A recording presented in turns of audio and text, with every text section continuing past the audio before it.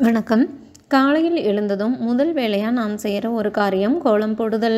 கோலம் போடும்போது நம் வீட்டை நோக்கி வரும் மகாலட்சுமி நம் வீட்டிற்குள் நுழைவதாக நம்பிக்கை உண்டு. காலையில் எழுந்து கோலம் போடாத வீட்டில் மூதேவி வசிப்பதா சொல்லப்படுது. இந்த வகையில் காலையில் எழுந்து கோலம் போடும் பொழுது நாம் செய்யக்கூடாத ஒரு தவறு என்ன அப்படிங்கிறத இந்த பதிவில் நம்ம பார்க்க போகிறோம் வாசலை கூட்டி பெருக்கி சுத்தம் செய்யும் பொழுது வாசல்ல இருந்து குப்பை வந்து வெளியே போகிற மாதிரி கூட்டணும். குப்பைகள் வீட்டை நோக்கி வரும்படி எக்காரணம் கொண்டும் துடைப்பத்தை கொண்டு கூட்டக்கூடாது. கூட்டி முடித்த பின்பு கண்டிப்பாக தண்ணீர் தெளிக்க வேண்டும். வாசலில் தெளிக்கக்கூடிய தண்ணீர் துர்தேவதைகளை வாசலில் இருந்து விரட்டியடிக்கும்.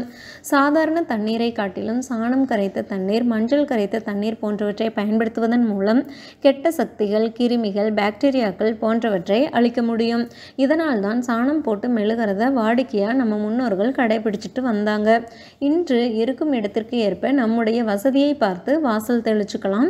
அப்பார்ட்மெண்ட் வீஸ் வீட்டில் வசிக்கிறவங்களா இருந்தாலும் கூட காலையில் எழுந்ததும் வாசலை சுத்தம் செஞ்சிடணும். இதனால் வாசலில் இருக்கிற தரித்திரங்கள் விலகும்.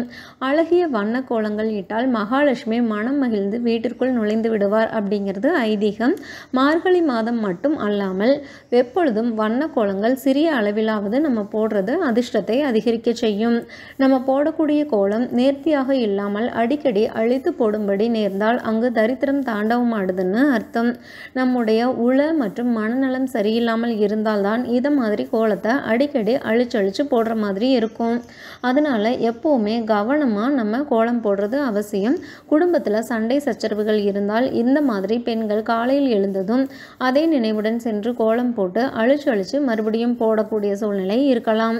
இப்படி கோலத்தை அழிச்சு போடுறது அல்லது புள்ளியை தவிர்த்து சரியான அமைப்பில் முடிக்காமல் இருக்கிறது அலங்கோலமாக கோலம் போடுறது இது எல்லாமே செஞ்சோம் அப்படின்னா அந்த இடத்துல மூதேவி சுலபமாக நுழைஞ்சிடுறதா சாஸ்திரங்களில் குறிப்பிட்டிருக்கு.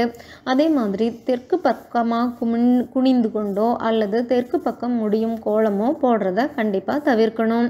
இதெல்லாம் வந்து பார்த்திங்கன்னா நம்ம மகாலட்சுமிக்கு பதிலாக முயும் மூதேவியை வீட்டுக்குள்ளே அழைக்கிறதுக்கு சமம். அதனால் கோலம் போடுறதுல கொஞ்சம் கூடுதல் அக்கறையுடன் இருப்பது நேர்த்தியாக கோலம் போடுவது அதிர்ஷ்டத்தை கொடுக்கும். மேலும் தகவல்களுக்கு சேனலை சப்ஸ்கிரைப் பண்ணுங்கள் தேங்க்யூ